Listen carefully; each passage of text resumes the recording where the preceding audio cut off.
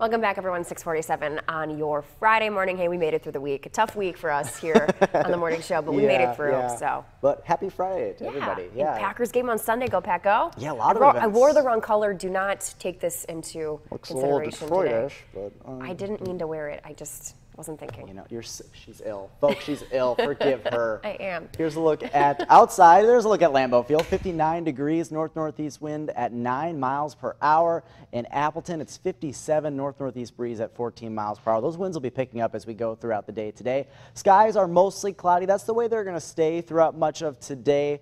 Uh, there could be a slight chance of a shower or a sprinkle out there, but uh, looks overall pretty good. Here's a look at your school day forecast. Temperatures in the middle 60s heading home from school.